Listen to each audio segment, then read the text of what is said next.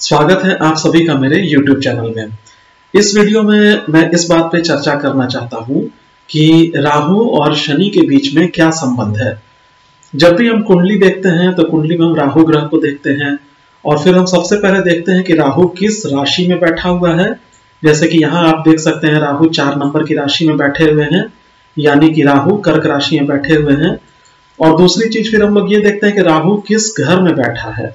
जैसे ये घर जो है, ये कुंडली का दसवां घर है तो राहु जो है, कुंडली के दसवें घर में बैठा है। उसके बाद फिर हम लोग सोचना शुरू करते हैं कि राहु जो है, वो किस प्रकार से फल देंगे। कहने का मतलब है कि राहु चंद्रमा की राशि में है, चार नंबर की राशि कर्क राशि, चंद्रमा की राशि होती है। तो राहु चंद्रमा की राशि में है और राहु दसवें घर में है। तो राहु इसी प्रकार से फल देंगे। लेकिन इसमें गलती हो, ये हो जाती है कि हम लोग शनि को नजरअंदाज कर देते हैं, जो कि नहीं किया जाना चाहिए। जब भी आप राहु के फल को देख रहे हैं तो सबसे पहले तो आपने ये देख लिया कि राहु दसवें घर में है। राहु दसवें घर में है तो दसवें घर से संबंधित फल देगा। इसके अलावा शनि पहले घर में बैठा हुआ है। ये कुंडली का प्रथम घर होता है, यहाँ पे शनि बैठे हुए हैं। तो राहु जो है, वो शनि का भी फल देता है। मैं दोबारा से बता दे रहा हूँ, कुंडली में राहु ग्रह जो है वो शनि का फल भी देते हैं। कहने का मतलब है कि राहु दसवें घर में बैठे हैं तो दसवें घर का फल तो मिलेगा ही। शनि पहले घर में बैठे हुए हैं तो पहले घर का फल भी मिलेगा।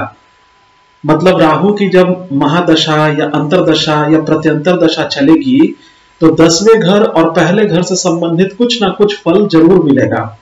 फल क्या मिलेगा? उसके लिए हमें देखना पड़ेगा राशि क्या है, ग्रह के बल किस प्रकार से हैं और भी बहुत सारी चीज़ें देखनी पड़ेंगी, लेकिन सबसे पहले हम इस हमें इस बात को समझना होगा कि जब भी हम राहु को देख रहे हैं तो हमें शनि को देखना होगा। ये कुंडली मैंने उदाहरण के तौर पे ली हुई। मान लीजिए कोई और कुंडली रहती, उसमें राहु जो है, यहाँ रहते हैं। इस घर में अगर बैठ जाते हैं, यानी कि चौथे घर में तो चौथे घर का फल भी मिलता और ये श से शनि है तो ये पहले घर का फल भी मिल जाता।